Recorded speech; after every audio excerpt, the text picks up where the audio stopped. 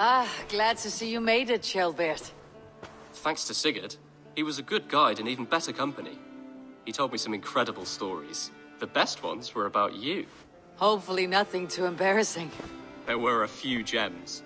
Not to interrupt, Eivor, but what of Ledecestrescire? The Alliance has won.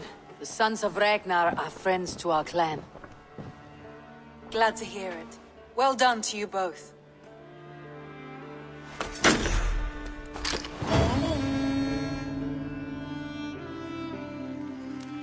Eivor, a word of note. Someone has set up shop outside. A trader, I believe. I met him, Reda. A strange young man, but somehow charming. He'll make for fine company, I think. I look forward to knowing him better. You have not been long in England, have you? I see by this map you have barely scratched Mercia. Give it time, little lord. Wessex untouched, Northumbria barren. You still have much to see. Yes, it is a work in progress.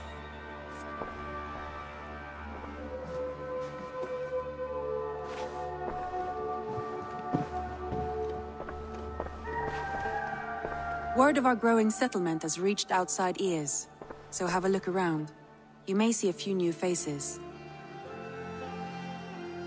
I want to see the Alliance map.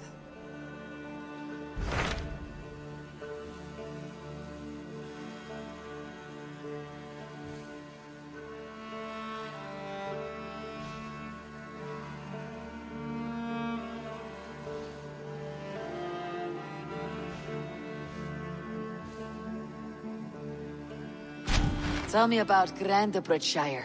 A force of Danes, called the Summer Army by the Saxons, is camped north of Grantebridge at some ruins across the river. We should curry favor with their leaders, Guthrum and Soma, if we hope to win their trust and allegiance. My scouts did not meet them in person, so I can say little for the state of their army. Consider this a starting point.